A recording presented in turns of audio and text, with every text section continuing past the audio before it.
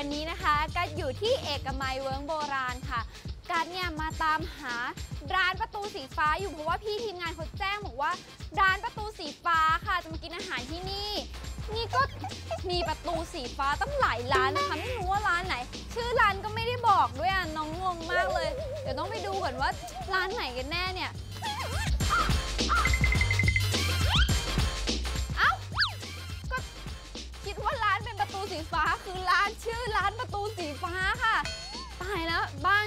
านจริงเลยเข้าร้านดีกว่าอายจัง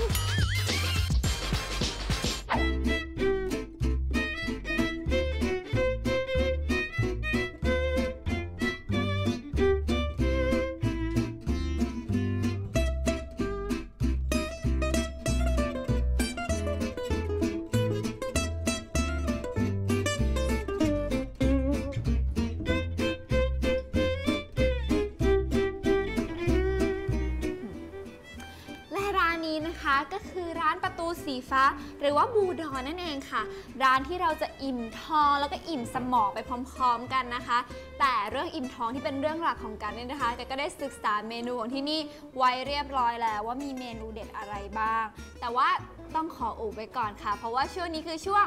ร้านนี้ก็อร่อยนะจ๊ะ พี่คะเออขอน้ำมะนาวมิ้นน้ำผึ้งปั่นสามแก้วค่ะ เพราะว่าร้อนมากร้อนเล่นค่ะพี่แก้วเดียว ร้อนอะ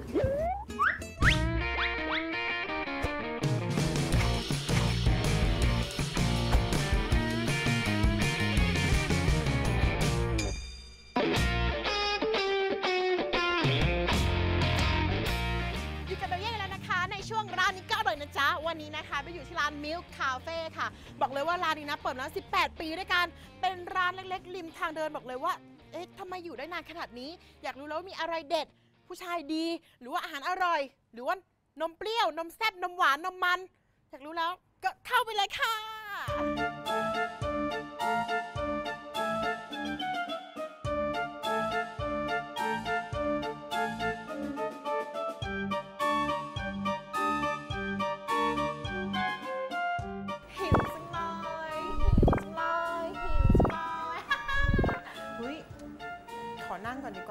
คุณผู้ชมบอกเลยว่า ร้านน่ารักมากๆเลยนะคะ แล้วก็ว้ายตายนะร้านน่ารักมากๆ แล้วก็คนที่มานั่งเนี่ยเป็น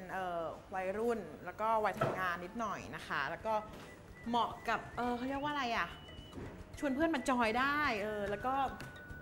หิวแล้วอะเนาะก็ร้อนด้วยก็สั่งแล้วมากินดีกว่า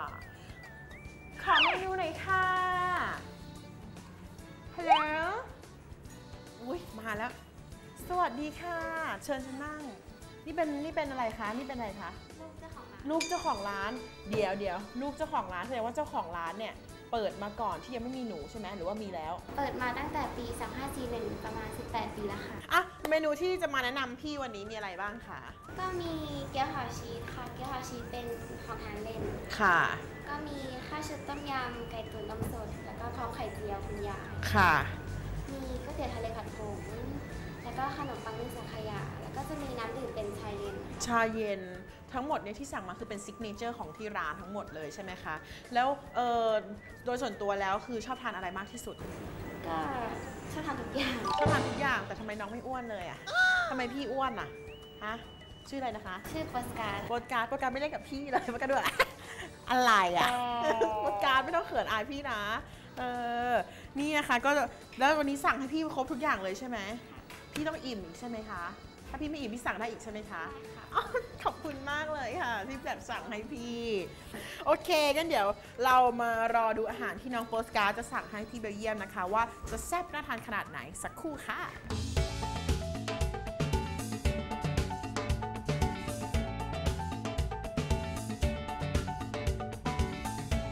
อาหารก็มาตั้งแล้วตรงหน้าของเราทั้งสองคน สิ่งที่พี่อยากจะขอชิมก่อนเลยก็คือ อันนี้เป็นเกี๊ยวห่อชีสนะคะ แล้วก็เอ่อขนมปังสังขยา เป็นข้าวไข่เจียวอะไรนะ ข้าวชุดต้มยำไก่ตุ๋นนมสดกับไข่เจียว ข้าวชุดต้มยำไก่ตุ๋นกับไข่เจียวสูตรคุณยาย แล้วก็มีก๋วยเตี๋ยวทะเลผัดผงค่ะก๋วยเตี๋ยวทะเลผัดผงอ๋อผงอะไรอะต้มผงกะหรี่ค่ะผงกะหรี่ พี่ขอชิมอาหารหวานกันว่าพี่เป็นคนชอบทานอาหารหวานก่อนอาหารคาวนะคะ อันนี้สังขยาทำเองใช่ไหม ใช่ค่ะ อันนี้พี่ขอลากมาใกล้ๆนะ สังขยาก็ทำเองด้วย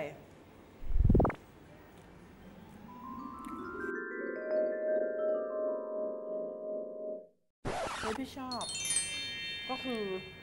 มันไม่หวานจนเกินไปแล้วก็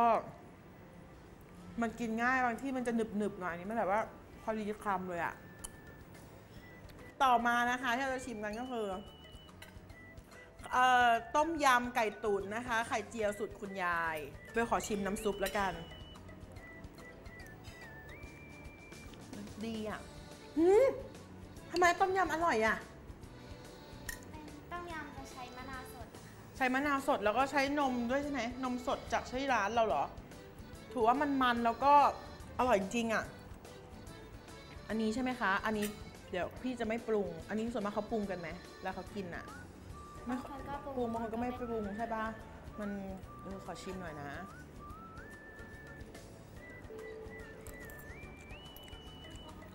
ดีเรียกได้ว่าเหมือนแบบอาจจะคล้ายๆกับผัดซีอิ๊วแต่ว่าไม่ใช่นี่จะเป็นกิมมิคที่เลิศกว่า แล้วกุ้งตัวใหญ่ปลาหมึกตัวใหญ่เลิศมากนะคะ อันสุดท้ายเกี๊ยวห่อชีสจริง ๆ แล้วคนก็มาเยอะอยู่เหมือนกันนะ ที่ร้านเนี่ย ส่วนมากจะเยอะตอนกี่โมงคะ ก็เที่ยงแล้วก็ตอนประมาณสองทุ่มอะค่ะ อืมนี่เที่ยงพอดีเลยดูแลลูกค้าหน่อยไหมคะ เดี๋ยวพี่ได้แบบจัดการตรงนี้ต่อเนาะอืมเอานมกินด้วย นมนี่ขอได้ไหมคะ ขอได้ไหมคะ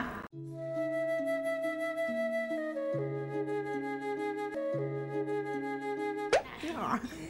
นี่พี่ขอหมาเลยนะคะ ถ้าคิดกินไม่หมดนี่ห่อกลับบ้านพี่ด้วยนะคะ ใจดีจังเลย ขอบคุณมากค่ะ